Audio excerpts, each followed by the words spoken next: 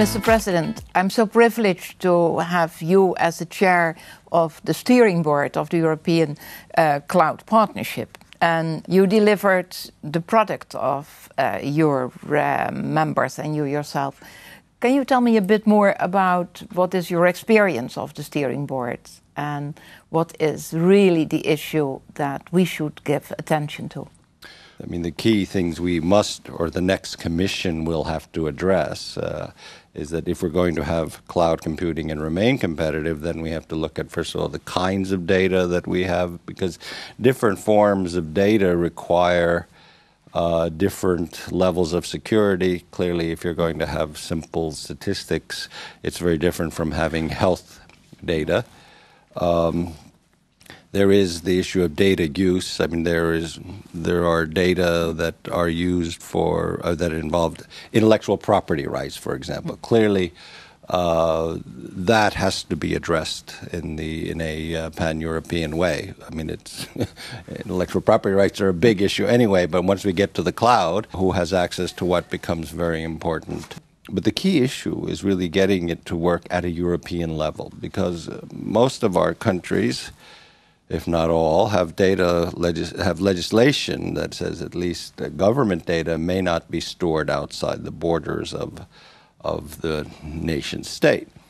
You um, have own experience. Yes. Well, we, I mean, this, it's in general, it, this law is understandable, it makes sense, these kinds of laws, but but if we want to develop a cloud then uh, uh, that will work uniformly across Europe, then we have to address that issue, and uh, we, that again requires us to be able to guarantee to uh, member states that uh, that uh, the using a European cloud for data storage is is a perfectly reasonable and good thing to do. In the sort of the, the non-digital single market, we've all made the appropriate changes in our legislation and uh, harmonized our legislation. It works within Europe. We have not done that when it comes to the uh, the application of digital uh, technology, and and here this is a a big challenge we face in Europe that unless we take into account the huge size of the economy that is digital, and we don't have a pan European single market uh, that works digitally, we will simply fall behind. And so the, the alternative path uh, to having a pan European legislation is that one by one, governments or countries will adopt systems that are interoperable. And could you explain a little bit more your experience with privacy? For people are scared, and certainly when you are talking about their health um, uh, issues, that it is safe and that it is to be trusted.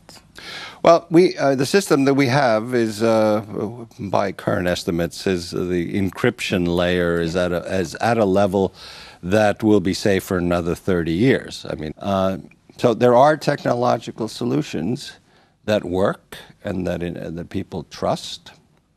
Um, and uh, I guess where the problem is is the level of knowledge of the technological solutions that exist today uh, that uh, would allay the fears of legislators and politicians uh, who say, "Oh no, we can't do this." There are a lot of things we can do right now and the first, first of all, is to look at best practices. Wh- who's done what? Mr. President, I'm absolutely certain that uh, a lot of people will uh, use the public consultation about this report till the 2nd of May. Uh, it can be done. Looking forward to all your interventions. And thank you very much, Mr. President, for your willingness to accept the chair of the board and publish this excellent report. Uh, I'm looking forward to all those reactions of the viewers and of those who, for one reason or another, are interested in the cloud um, issues. And uh, you can still uh, react uh, till the 2nd of May.